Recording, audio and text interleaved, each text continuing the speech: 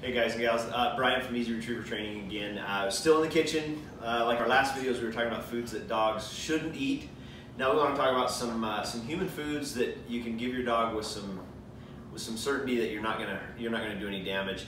First one we're gonna talk about is cheese. Uh, now there are some cheeses that are better than others. There are some cheeses you should avoid altogether.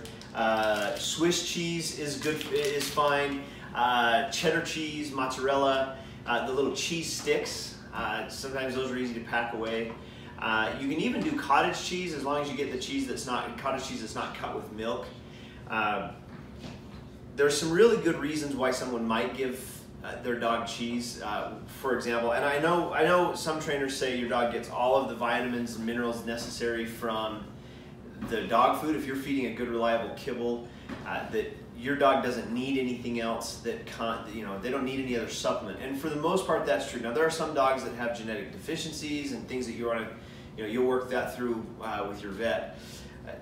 So you're not really giving them the cheese because it's going to fill some vacancy in their in their diet. But there are some things that are in there that, uh, that you got to be aware of. There's vitamin a there's some vitamin c there's some calcium uh, there's some uh, fatty acids some proteins uh, but really, it's just it's just a good treat. I mean, just think about it. You, you probably didn't need that 36 ounce uh, soda as you went to work this morning, but you probably you may have stopped and got it anyway.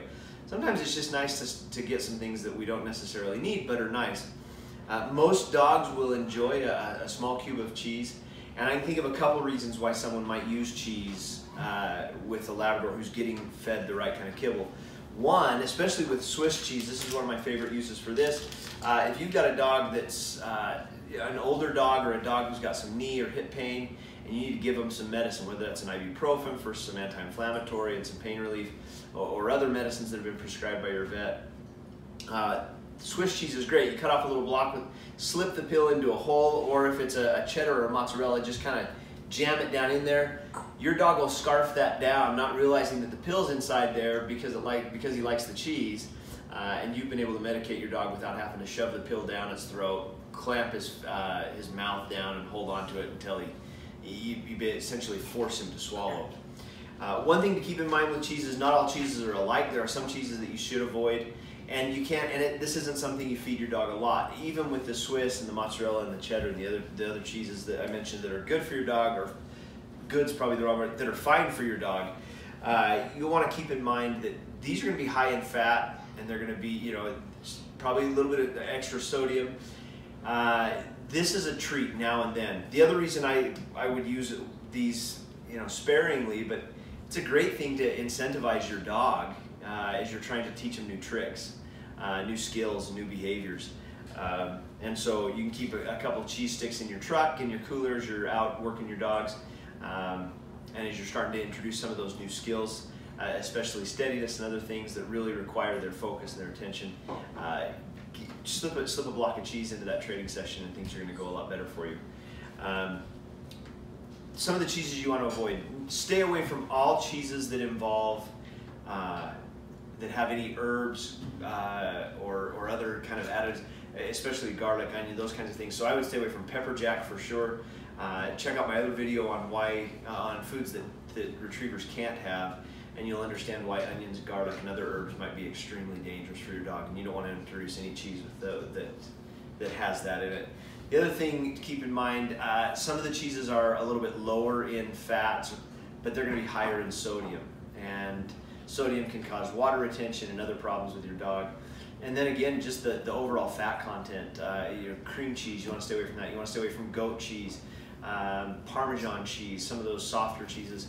Uh, as you avoid those, just just because Labradors, especially Labradors, but Golden Retrievers, uh, if we if we get if this becomes a consistent part of their diet, we're going to have some problems with obesity. And Labradors, we know already have a problem with that.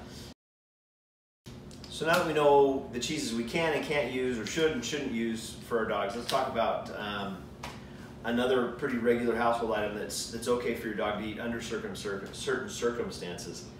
Uh, store-bought mushrooms. Uh, they're they're going to be totally fine with your dog as long as they haven't been prepared with other foods such that, that aren't good, such as onions, garlic, and etc. Uh, a lot of times we saute onions and mushrooms together and throw them in, and we want to, you know, we've got some scraps and we want to throw them into our dog's dish. I would suggest you totally avoid that. But if you've got some regular store-bought onion or store-bought mushrooms that are still raw and they haven't been prepared with other things that might cause problems um, and increase your dog's fat intake or sodium intake, mushrooms are totally fine uh, if your dog likes them. Sometimes it's a trick getting your dog to like uh, a new food that you're introducing them to, and so uh, you know take keep that in mind. They may not uh, they might not jump on on eating a, a fresh mushroom. Uh, I know I can't get my kids always to eat them, so I may not be able to get my dogs to eat them. Uh, the next thing we want to talk about, we're going to talk about some fruits. Some fruits are easier than others. Uh, some fruits require a little bit more, more preparation. And, and so let's talk about, I'm going to move these two to the side. Um, and, and, the apple as well.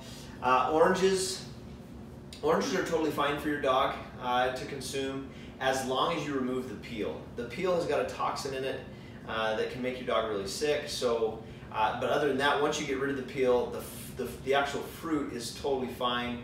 Uh, it's a it's a it's packed with juices. You've got all sorts of vitamins and minerals that are going to become that are going to come with that fruit.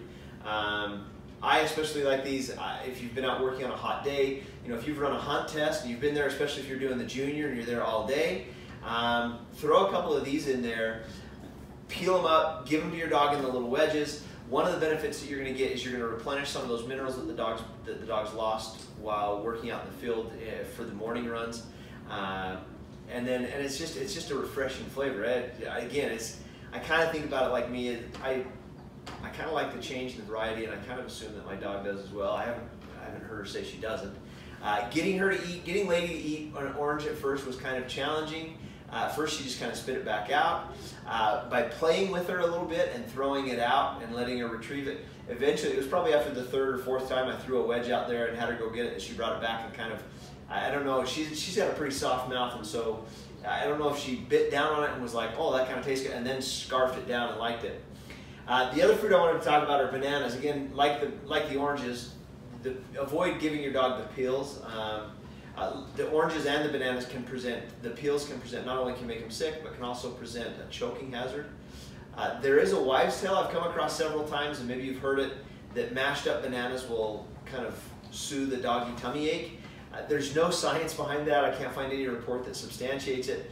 But there's not going to be anything in here that's going to do damage to your dog uh, or cause any problems. Uh, the extra potassium is going to replenish some of the minerals that you dog, your dog expends while out retrieving. Um, so, so bananas are good, oranges are good. Just remember, forget the peels. Also, other, you know, lemons are fine, like the oranges. Get rid of the peel. You'll remove the choking hazard. Get rid of the, the, the little toxins in the peel that can make them sick.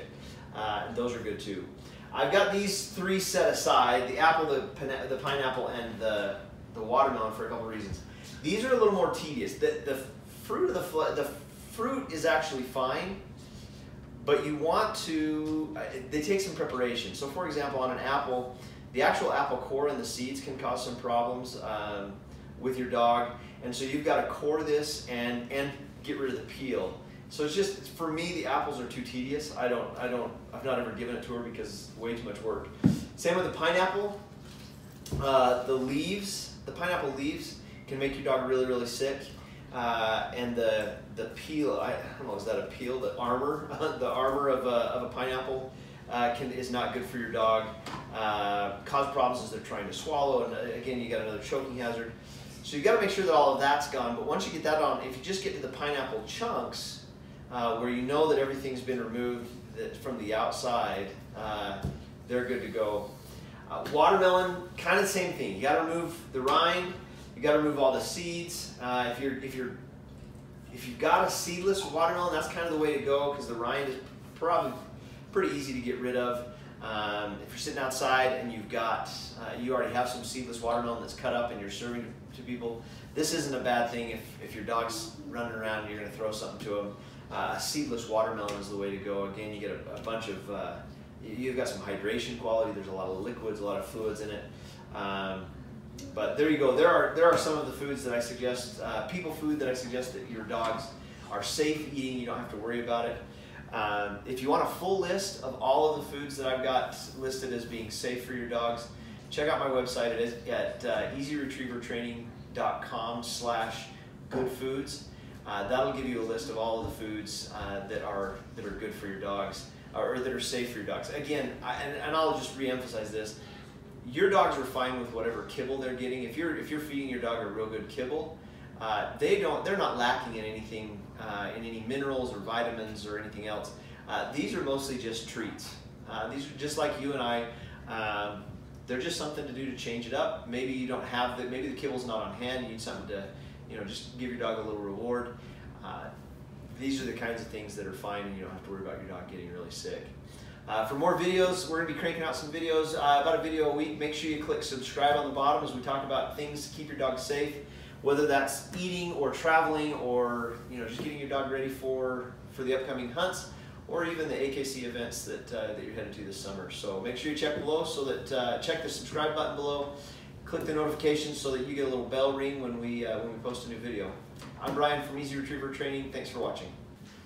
Another treat is for dogs is peanut butter.